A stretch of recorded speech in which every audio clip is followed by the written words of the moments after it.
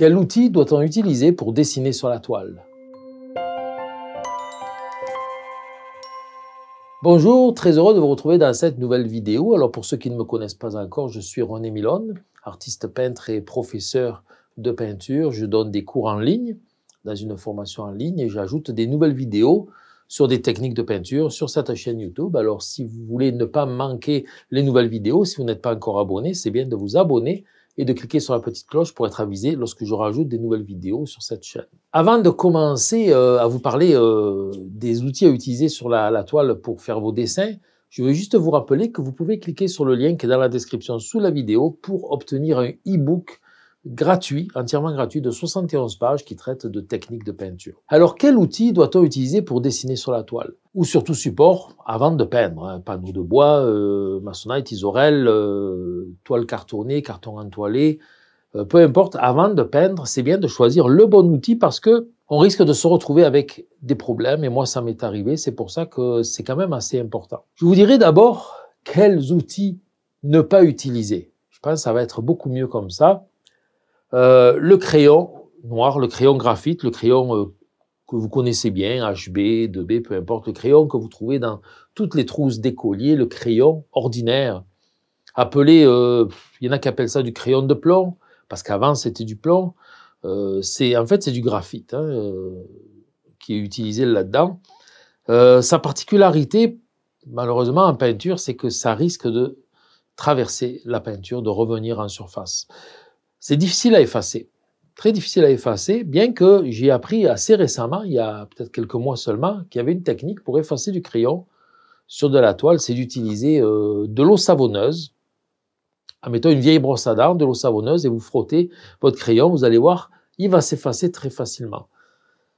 Mais moi, je vous expliquer, je vais vous raconter plutôt une anecdote qui m'est arrivée il y a quelques années j'avais euh, terminé un tableau, euh, peinture à l'huile, euh, en plusieurs couches, il était vraiment très sec depuis longtemps. je l'exposais, puis j'ai eu un acquéreur pour l'acheter. Quelqu'un qui m'a demandé de l'acheter, ce tableau-là. Et comme je suis très indiscipliné, je n'avais pas identifié mon tableau à l'endo.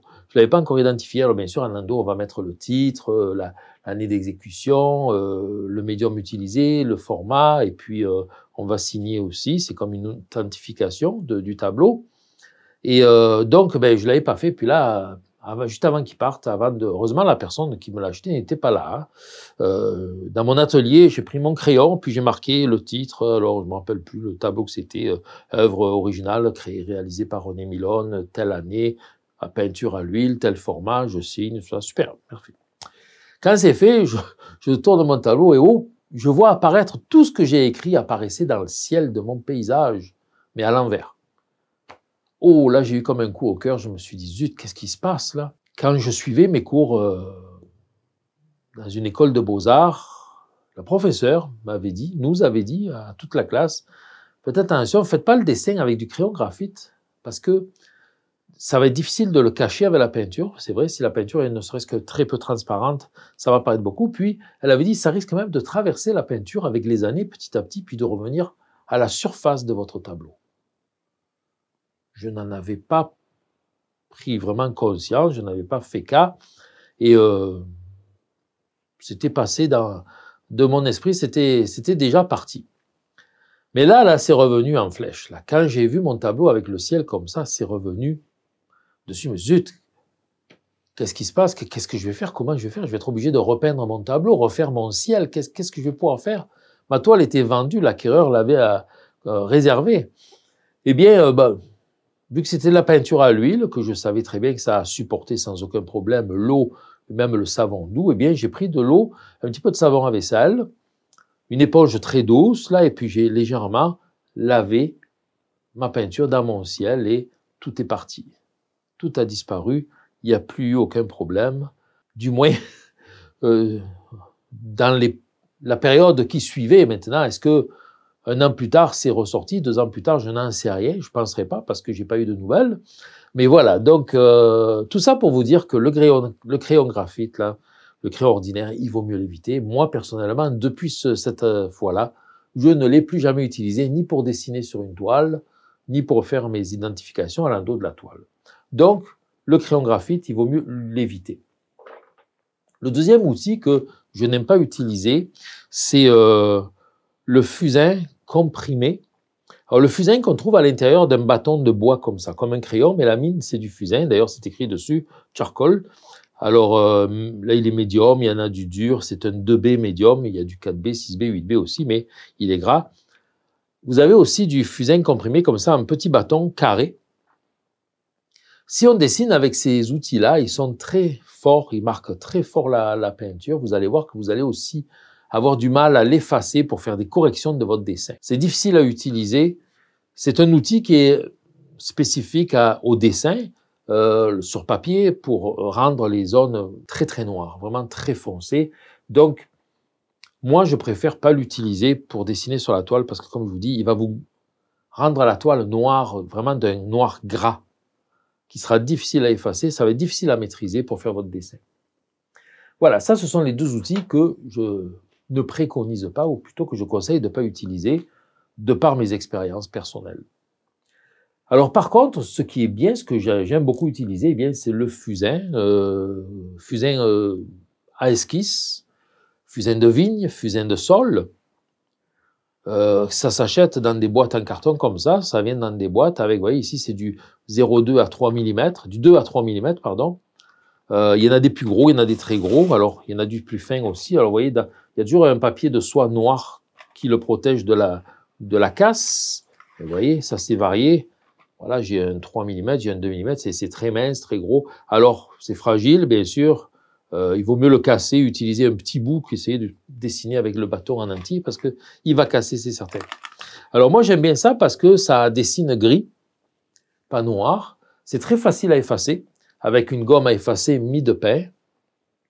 Alors la gomme à effacer mi de pain, c'est un petit peu comme une espèce de pâte à modeler comme ça. Et on la nettoie en la manipulant de cette manière-là. Elle devient propre elle est collante, vous voyez, elle colle, et donc elle va coller la poudre de fusain sur la toile ou n'importe quel autre support pour l'effacer et le nettoyer. On peut aussi sculpter des petites formes comme euh, une petite pointe et effacer juste des, petites zones très comme des petits points, des petits points ronds. On peut aussi euh, la sculpter pour en faire une espèce de lame de couteau, voilà, et là, on va pouvoir effacer des lignes très minces. Et on va pouvoir donc dessiner avec ce gomme à effacer sur du fusain à esquisse. C'est très pratique. Alors, lorsque vous l'achetez, elle vient comme ça, dans un emballage carré, plastique. C'est très gris, très pâle, beau, neuf, propre. Donc, euh, il faut enlever le plastique, puis tout de suite, il faut commencer à la manipuler, à la, on va dire, à la modeler pour la rendre collante.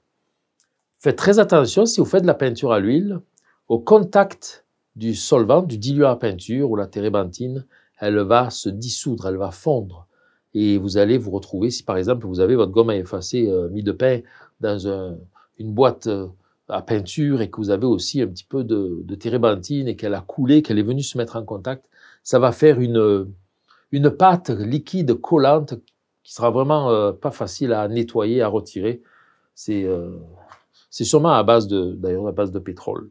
Voilà, donc ça va dissoudre la, la gomme à effacer. Pour euh, dessiner au fusain, je sais qu'il y en a qui n'aiment pas ça parce que c'est salissant, c'est noircissant. C'est vrai, c'est vrai que c'est un problème, mais euh, moi j'aime ça parce que justement je m'en mets sur les doigts des fois, puis avec un petit peu de fusain sur le doigt, je vais pouvoir juste faire une trace, un petit ombrage gris pâle sur ma toile. Si parfois je veux peindre, dessiner, du moins dessiner avant de peindre avec mes ombres et lumières, tous mes effets de volume, je fais mon dessin à la ligne contour d'abord, après je fais mes ombres-lumières, je peux effacer un petit peu avec le doigt, pas lire mon fusain à certains endroits, sans l'effacer complètement, puis à d'autres endroits, je peux en mettre là où c'est complètement blanc pour appliquer un petit gris pâle. Vous voyez, j'utilise vraiment les doigts. Et puis avec la gomme à effacer, on va refaire apparaître le blanc. Après, on peut mettre du fixatif. Et puis là, on a un super beau dessin avec des ombres et lumières, des volumes pour commencer à peindre dessus. Les autres outils que j'utilise beaucoup pour dessiner, c'est le crayon aquarellable. Le crayon aquarelle. Alors, bien sûr, il vient dans toutes les couleurs. Vous pouvez faire un dessin jaune, c'est pâle, sur une toile foncée, un fond foncé. Vous pouvez faire du bleu, du rouge, du, du brun, du marron, du vert, selon votre couleur dominante du tableau, selon le, le sujet que vous êtes en train de dessiner. Le crayon aquarellable est pratique parce que vous dessinez, puis si vous faites la moindre petite erreur ou que vous voulez simplement effacer, vous prenez un pinceau et de l'eau et vous effacez avec de l'eau. Alors oui, ça peut garder par endroits la, toile un petit peu teintée, mais c'est pas gênant du tout. En peignant par-dessus, ça va disparaître. On le verra plus du tout. Très très pratique. Vous pouvez dessiner avec du fusain, euh, de, pardon, excusez, avec de la sanguine, avec du sépia, des petits bâtons de sanguine, de sépia, des pastels secs, des crayons pastels, euh, de la craie, la craie blanche par exemple, pour dessiner sur une toile foncée, une toile noire. C'est ce que nous allons faire un petit peu plus tard.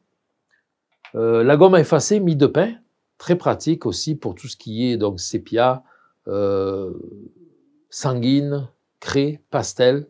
C'est la gomme à effacer l'idéal pour la toile parce que la gomme à effacer, euh, la gomme, on va dire, de, plastique, la, blanche qu'on connaît aussi, plastique ou caoutchouc, elle ne pourra pas vraiment épouser comme il faut la, texture d'une toile, par exemple, et rentrer à l'intérieur pour aller chercher le, crayon euh, aquarelle qui resterait dans le fond, le, pastel ou autre. Donc j'aime bien la gomme à effacer parce qu'elle est vraiment euh, mise de pain. Elle est vraiment très très pratique pour rentrer à l'intérieur de la toile. Et puis il y a aussi le pinceau et la peinture pour dessiner. Pourquoi pas utiliser directement le pinceau, la peinture? Je le fais. C'est ce que je fais le plus souvent. Le plus souvent que je suis euh, en peinture à l'huile ou en peinture acrylique, je prends mon pinceau. En peinture à l'huile, ma peinture est très très diluée, on dirait de l'encre, et ça coule, ça dégouline sur mon tableau quand je, dessine avec, c'est pas grave. Euh, pour effacer, ben, je prends un plus gros pinceau, juste du diluant à peinture, puis je vais effacer avec mon diluant. Ça sèche en quelques secondes par évaporation, puis je continue mon dessin. En peinture acrylique, j'utilise la peinture acrylique très diluée avec beaucoup d'eau. Puis pendant que je fais mon dessin, si j'ai besoin d'effacer, je prends plus d'eau avec un gros pinceau, puis je viens effacer avec de l'eau. Si par contre mon dessin, ça fait un petit moment que je l'ai fait à certains endroits et qu'il a complètement séché, que je veux vraiment absolument l'effacer une ligne ou deux parce qu'elle me dérange, à ce moment-là, j'applique de la peinture blanche. Voilà, donc c'est euh, pas mal tout au niveau des outils euh, qu'on utilise sur une toile pour faire le dessin. Et particulièrement, si on a une toile foncée, on peut utiliser un crayon blanc, mais attention, un crayon blanc assez gras, par exemple un Prismacolor première, qui est un crayon qui va euh, vraiment pouvoir dessiner sur une toile noire, mais un crayon blanc de mauvaise qualité comme Crayola, par exemple, ça fonctionnera pas. Le crayon aquarelle blanc aussi, le crayon aquarelle blanc, il va bien dessiner, puis on va pouvoir l'effacer avec de l'eau. Mais moi, j'aime bien la craie, la craie blanche, la craie comptée et euh, la gomme à effacer mis de pain. Puis, euh, nous allons, euh, pour démonstration, je vais faire le, le, dessin du paysage que nous poursuivons semaine après semaine, le paysage marin avec la tempête. Je vais faire le dessin sur cette toile. Alors voici notre toile foncée, donc je vais faire le dessin avec la craie blanche, c'est de la craie comptée, j'ai ma gomme à effacer mis de pain. Euh, je vais placer les éléments. Vous savez, euh, j'ai toujours mes photos de référence. Là, j'ai le, le, phare. J'ai ici le bateau. Alors, regardez, je vais faire mon dessin à main levée, mais le bateau, j'ai préparé un quadrillage, une mise au carreau que je vais pouvoir placer sur ma toile aussi. Avec ma règle, je vais pouvoir le positionner ici. Là, ce que j'ai, c'est un...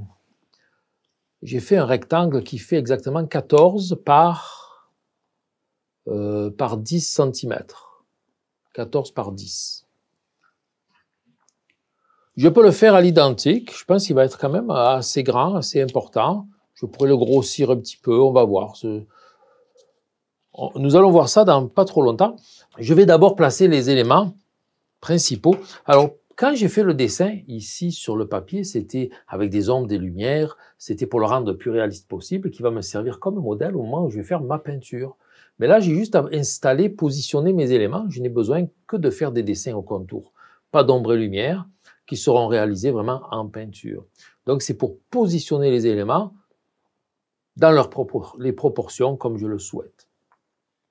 Alors voilà, comme je disais, ben, euh, finalement, c'est les mêmes proportions. J'ai une toile 16 par 20 pouces. Euh, le papier fait 14 par 17 euh, pouces le, ratio longueur-largeur est à peu près identique, c'est juste un tout petit peu plus grand.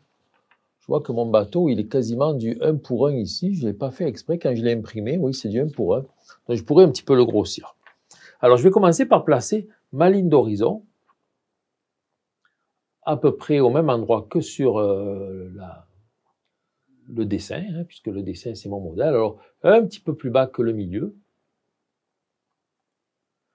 Trop centré, c'est pas bien. Trop haut, trop bas, bon. Euh, voilà. Je vais la remarquer un petit peu. Alors il faut qu'elle soit assez horizontale. Je vais quand même. Faut pas que ça penche. Comme je suis un petit peu de travers par rapport à la toile, je suis sur le côté pour vous laisser la place de voir. Je vais mesurer ici. J'ai 18 cm. Oui, c'est bon. C'est horizontal. Donc, je vais positionner mon phare. Alors, le phare, lui, il va être loin. Hein. C'est le but, c'est qu'il soit assez loin.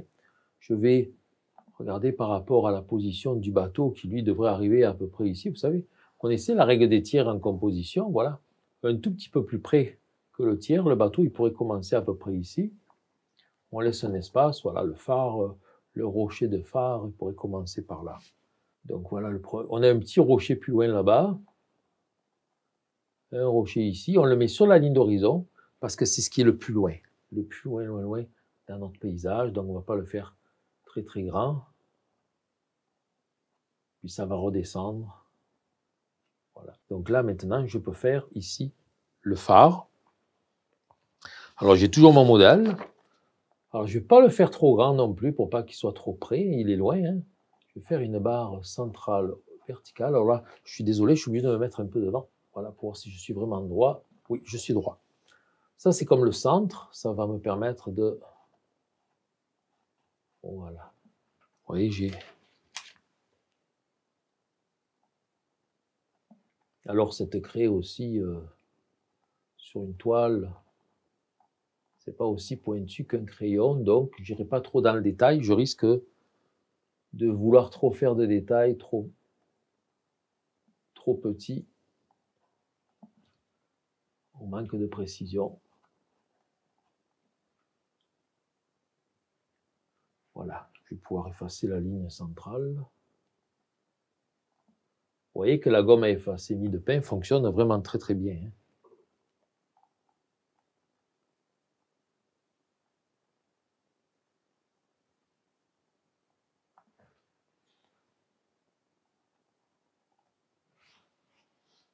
Voilà, on avait une petite, petite maison ici.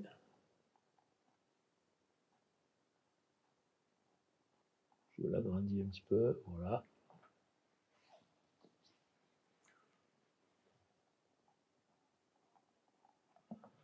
Bon, ben, le phare est fait, vous voyez. C'est pas très compliqué. On va faire les rochers à gauche. Alors, on a des rochers euh, dont la distance varie. J'aimais bien qu'on voie un petit peu d'eau ici, fait que je pourrais faire arriver un rocher qui vient comme ceci, là, en premier plan, en avant-plan, voilà, qui coupe la ligne d'horizon, c'est très bien. Voilà, on peut le faire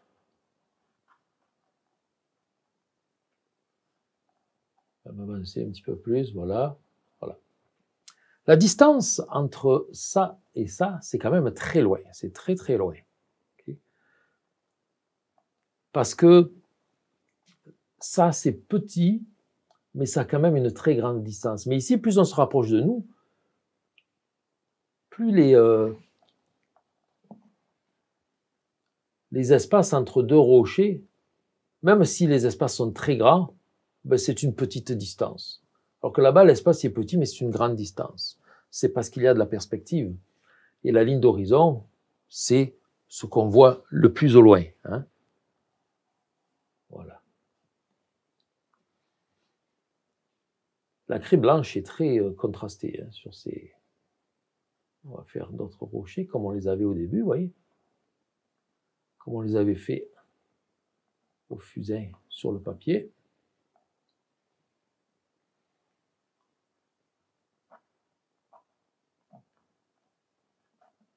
J'aime bien toutes ces formes assez irrégulières.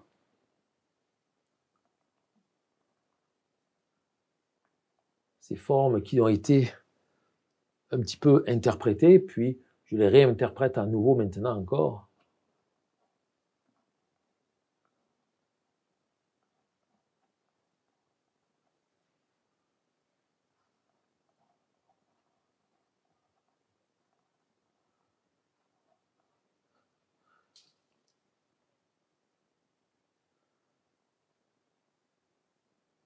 Tout ça, ce sont des rochers. Puis on ne voit pas vraiment le bas parce que là, ça va être les vagues. Puis nous en avions un autre ici, un petit peu plus loin. dont on ne voyait que le côté gauche, puisqu'ici, il était vraiment pris dans les vagues. Les vagues qu'on va faire un petit peu plus tard. On avait aussi ces espèces de, de vagues déferlantes sur les rochers à replacer. Avec de la craie blanche, maintenant, c'est beaucoup plus facile.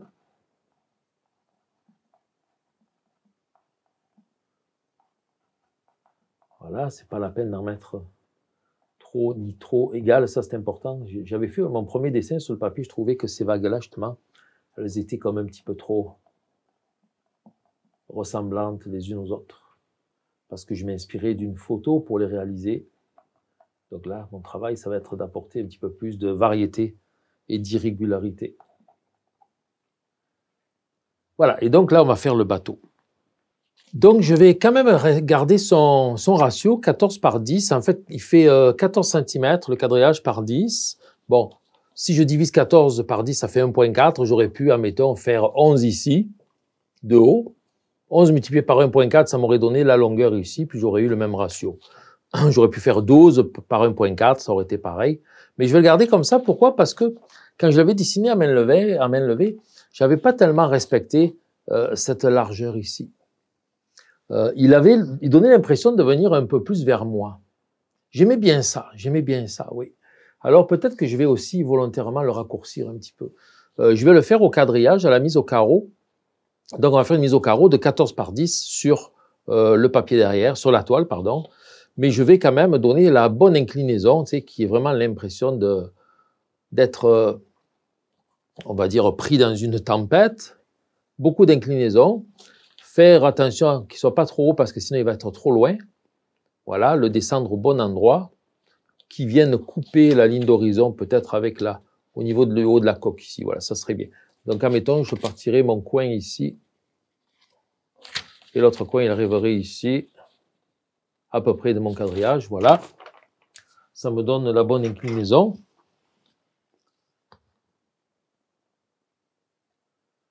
Donc voilà, mon 10 cm.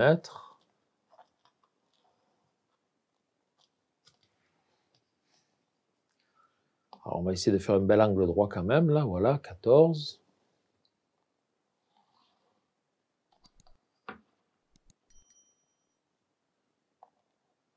Je fais ma vérification dans ce sens-là, 10. Oui, c'est bon. Ça devrait être correct à peu près par là. Et euh, c'est pas un portrait, c'est juste un bateau, donc euh, on a de la marge de manœuvre, c'est pas trop grave. S'il y a des petites différences d'ailleurs. Oups. Mon quadrillage sur la photo, euh, je l'avais fait avec un feutre rose, mais dans les foncés, ça ne se voyait pas trop, donc j'étais obligé de repasser au crayon dessus. Alors, je fais mon quadrillage. Là, je vais enlever la ligne d'horizon qui pourrait me faire tromper. Je pourrais la prendre pour une diagonale. Voilà. Donc, je trace les deux diagonales. La mise au carreau, hein, la mise au carreau, vous avez vu, il y a une autre vidéo qui montre comment le faire dans euh, la chaîne YouTube. Si vous cherchez, vous allez la trouver. Vous tapez, je sais pas moi, mise au carreau, René Milone dans YouTube, et puis vous allez sûrement trouver la vidéo, tomber dessus. Je pense que c'est avec un canard que je la montre, si je me souviens bien.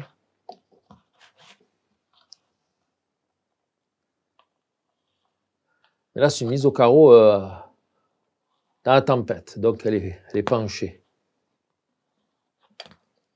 Voilà. Alors là aussi, euh, il y aura une, je vais avoir une petite limite dans la, la quantité de, de détails. Je ne pourrais pas trop faire de détails ça sera plus à la peinture.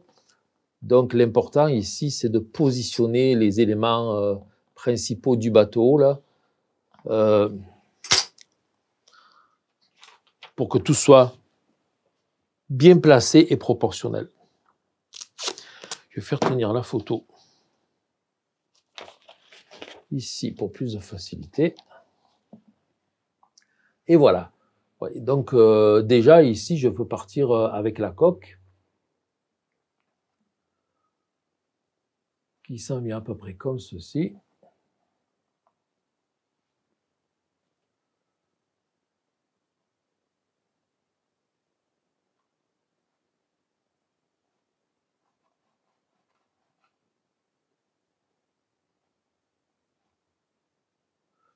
Là, j'ai déjà fait une petite erreur, excusez. J'ai oublié une partie. Ah oui, c'est ça le problème. Parce que je montre ma photo ainsi, voilà, il faut que je la place comme ceci, voilà. Là, ça va être beaucoup mieux qu'elle soit dans le même, dans le même axe. Sinon, j'aurais de, la difficulté. Effectivement, voyez, mes, axes ne sont pas dans, le bon, dans la bonne direction.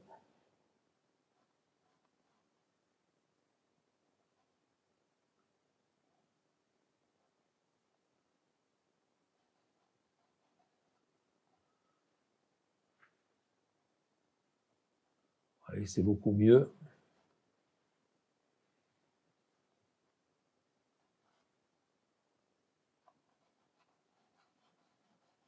Le bas, on ne le voit plus, il est dans l'eau.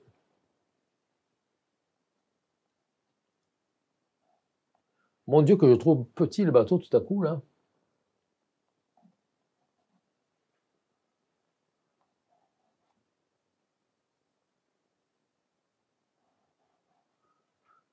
ça, ça va être la cabine. Vous allez voir, je vais pouvoir légèrement le grossir si je veux. Alors on passe par ici.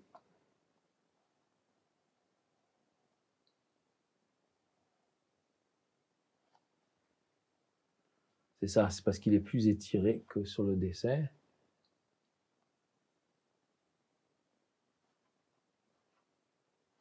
Alors quand on fait du dessin comme ça, là, euh, c'est du dessin d'observation. Je vois une ligne, je la place au bon endroit, comme je la vois sur euh, la photo, sans me poser de questions à savoir si ce que je fais, c'est euh, telle ou telle partie du bateau. Je vois des lignes, j'essaye de reproduire les lignes comme je les vois. Et au moins je pense, au mieux j'aurai un résultat.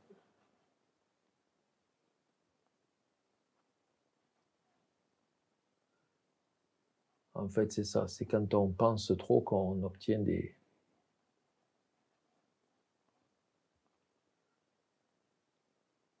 résultats pas trop satisfaisants.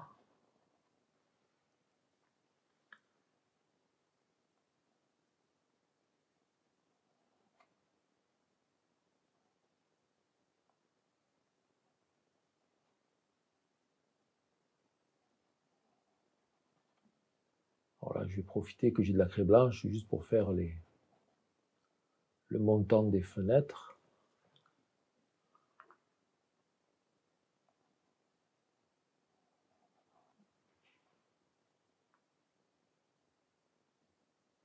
Voilà, après ça, nous avons ici les fameux rouleaux.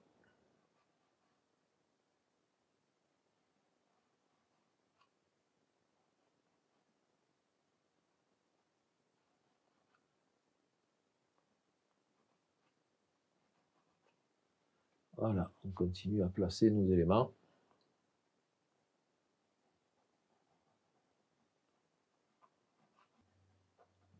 C'est là où je ne pourrais pas faire autant de détails que j'avais fait.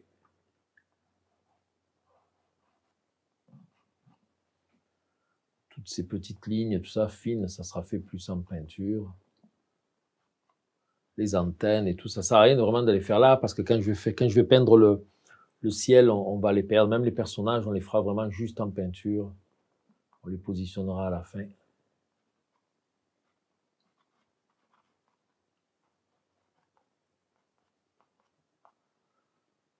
Voilà, encore des petites choses comme ceci.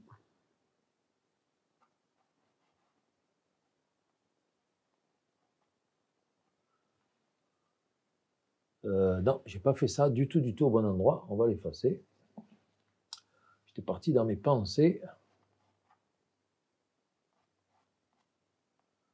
Ça venait vraiment ici.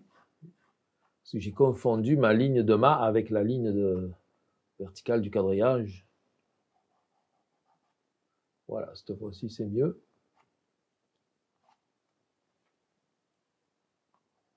La petite boule ici, les triangles, voilà, c'est ça.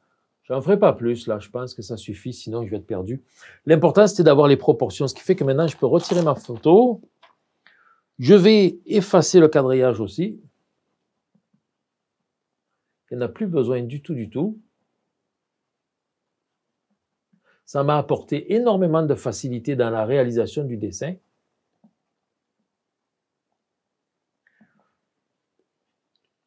Il y a toujours possibilité aussi, si vous le voulez, vous savez, de, de décalquer, de projeter. Et projeter sur un fond noir, je ne sais pas si c'est possible.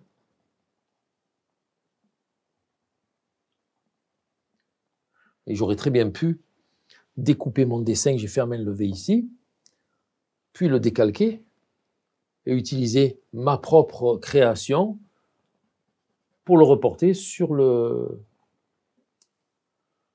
tableau, plutôt que d'utiliser à nouveau la photo. J'aurais vraiment pu utiliser mon dessin, le papier de mon dessin. Mais ça aurait... Euh, J'aurais pu prendre un papier calque, le poser dessus, redécalquer mon dessin, tout ça, ça aurait été très intéressant. Ici, nous avons de la vague. Voilà. Voilà, c'est là où je peux le grossir un petit peu. Regardez, je pourrais juste grossir son étrave ici légèrement, la poupe.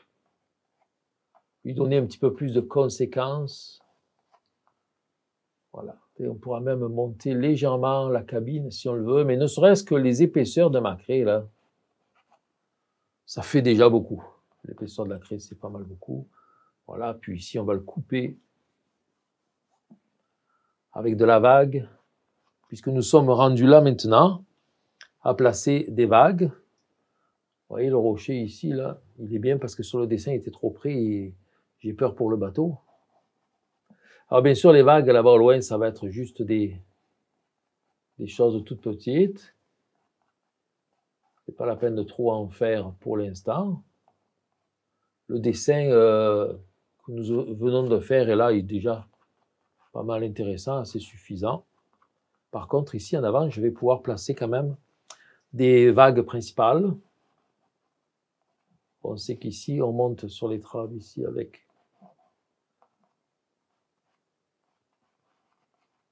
une grosse vague qui va pouvoir poursuivre par là-bas.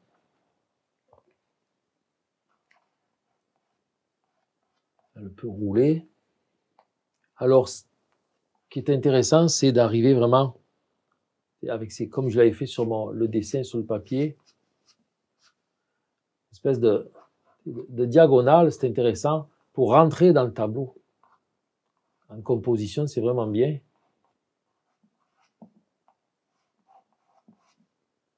Là, j'avais roulé un petit peu. Non, pas trop, c'était en avant. Excusez, je me suis trompé. C'est pas au bon endroit. Je confonds mes vagues, alors on va plutôt la remonter celle-là. Elle peut être un petit peu déferlante.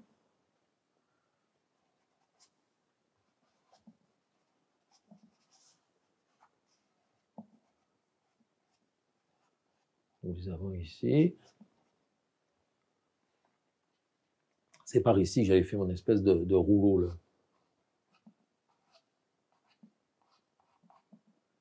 Il s'en va s'échouer sur les rochers.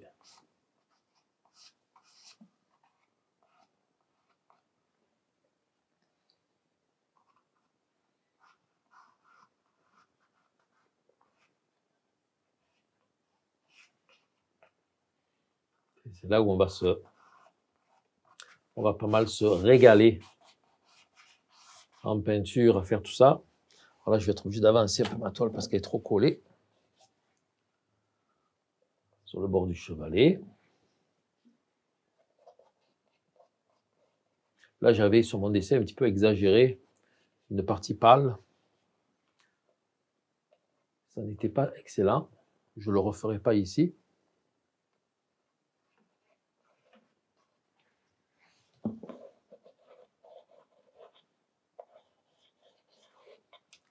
Ça va être à nous, en peinture, de montrer que ce sont vraiment de Très très grosse vague.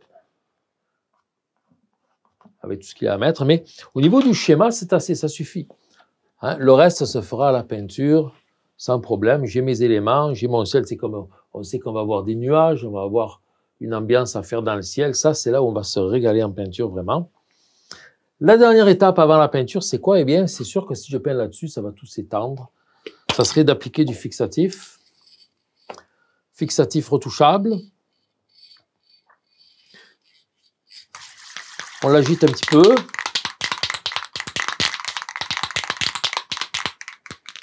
On en applique sur les endroits surtout où on ne veut pas qu'il que la craie s'en aille. Pas la peine d'en mettre beaucoup.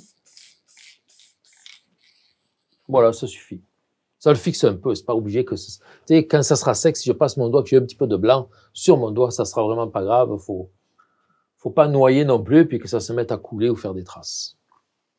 Nous arrivons à la fin de cette vidéo. J'espère qu'elle vous sera utile. Alors j'espère surtout que vous avez pris des notes au niveau du, de l'outil que vous devez utiliser pour faire le dessin sur la toile. Nous avons vu un petit peu de pratique de dessin justement sur une toile euh, foncée avec de la craie blanche. Je pense que c'est pas mal le, le meilleur médium, du moins c'est celui que je préfère pour dessiner. Maintenant, si vous avez plus de détails à faire, un crayon aquarelle blanc fera peut-être mieux l'affaire. Donc j'espère que ça vous a plu, que vous avez, vous avez aimé cette vidéo. Si c'est le cas, euh, merci de la liker, mettre le pouce en haut. Mettez vos commentaires dans l'espace de commentaires sous la vidéo. N'oubliez pas que vous avez un e-book à télécharger gratuitement si vous cliquez sur les liens qui sont dans la description sous cette vidéo. Merci beaucoup, merci infiniment, puis on se retrouve euh, pour la suite de ce tableau. À la semaine prochaine. Bye bye